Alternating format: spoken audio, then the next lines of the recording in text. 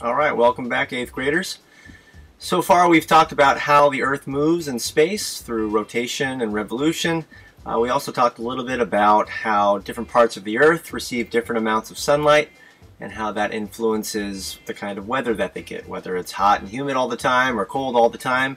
Um, that's all affected by their position on the Earth and how close they are to the equator or to the poles.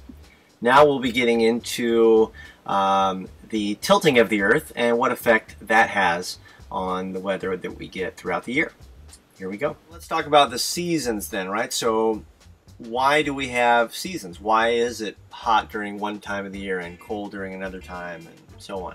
Uh, and so here we see the sort of four main stages uh, or placements of the Earth around the Sun throughout the year. Um, and right now, when I'm recording this, it is uh, July, and so we are just past this sort of June solstice here. So the June solstice happens on June 21st, June 22nd, somewhere around there. Uh, and at that point, the northern hemisphere, if you see it here, the northern hemisphere is tilted towards the sun. Um, and so this means that the northern hemisphere is getting a lot of direct sunlight and it's hotter, right? Of course, June solstice signals summer. Summer is the hottest season for us. Um, and the southern hemisphere, though, notice that they are tilted more away from the sun. So for them, it's actually the beginning of their winter. So while it's our summer solstice, it would be considered their winter solstice. So that might seem kind of weird, but that's how it works. They're getting less direct sunlight, so it's colder. Then, as the year progresses, about three months later, we get to September and we get to the September equinox. And at this point, the Earth is not tilted towards or away from the Sun, sort of uh, at, an, at an angle going sideways. And so both the northern and southern hemispheres are getting the same amount of sunlight. Uh, and so we get uh, equal parts day and night 12 hours of day, 12 hours of night, uh, hence the name equinox, right? 12 and 12, equal parts day and night. Then, continuing on, we get to December, three months later, and uh, the other solstice. So this is the other extreme uh, where we, the northern hemisphere um, in June was tilted at its farthest point towards the sun. Now in December, it's tilted at its farthest point away from the sun. And so for us here in the northern hemisphere, it's we're getting less direct sunlight. It's cold. It's the beginning of winter. However, for the southern hemisphere, for South America and Australia and Africa, they are experiencing summer now. December signals the beginning of summer. So uh, if you spend Christmas in Australia, it's going to be warm. Santa Claus will be riding a surfboard and uh, wearing shorts. Then, uh, going three months later into March, we get a similar situation as in September. Equal parts day and night. We're not really tilted towards or away from the sun. Both hemispheres get the same amount of energy, right? Uh, and notice that our axis is kind of tilted at an angle, and I have this question up here. The axis is always tilted at what angle, right? This is the reason why we have seasons, right? It's because of this tilt that never changes. What angle is it tilted at? Take a guess. What do you think?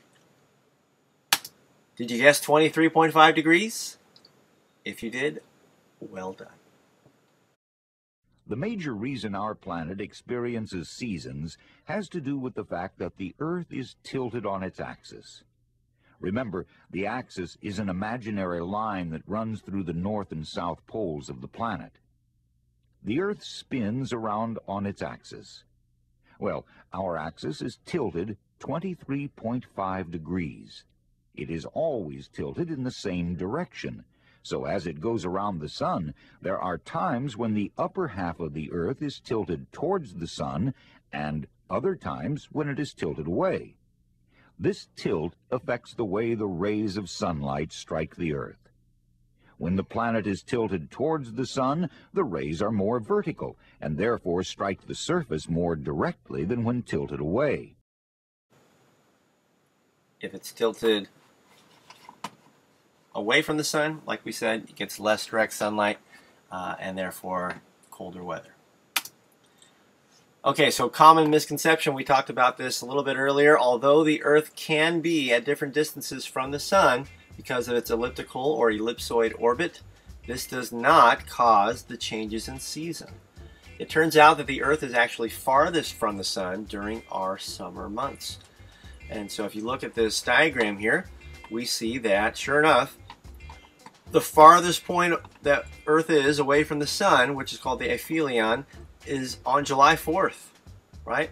Historically, pretty hot day during the year, right? Uh, it's the dead middle of summer, pretty much, July 4th, and we're farthest away from the Sun. And on the other end, at the perihelion, our closest point to the Sun, that occurs on January 3rd, right? It's winter time. It's generally pretty cold. Um, so it's not the distance, right? It's, it's the tilting of, of the axis and either tilting towards or away from the sun throughout the year. That is what causes the seasons, not the distance. Although the distance does have a minor factor. If you were in Australia on January 3rd, um, not only would you be tilted towards the sun at that point, because it would be your summertime, but the fact that you were a little bit closer um, to the sun, you are going to experience a slightly more, uh, you know, more extreme temperatures. Same goes for the southern hemisphere in July. Uh, so they do get a little bit more cold or more heat uh, because of this, but not so much for us. Okay, and so uh, lastly here, uh, when the seasons are occurring um, and we are tilting to, towards or away from the sun, um, you will actually be able to see the angle of the sun change. The height of the sun above the horizon will vary with the season. And so it's usually at its lowest angle in the winter and highest angle or more direct angle in the summer. So here in June we see that it is coming from the east. It goes way direct, pretty much directly overhead before coming down here uh, to the west. And notice too that it is still at an angle. It's not directly overhead. You have to be at the equator to have it going straight from east to west. Because we're in the northern hemisphere, it's always going to be sort of tilting towards the south.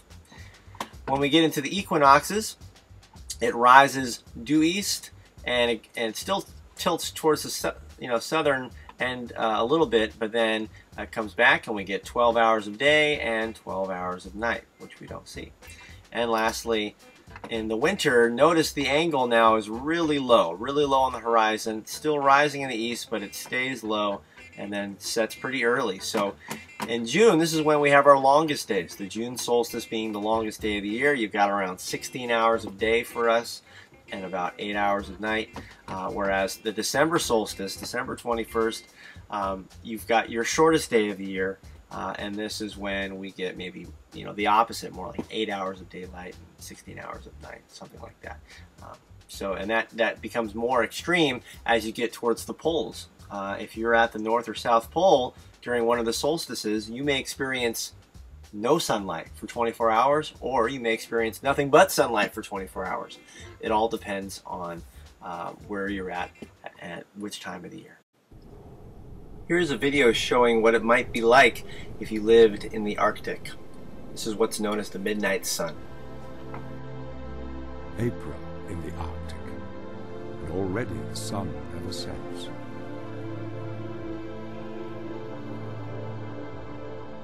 But further south, the sun works its magic in a more gradual, familiar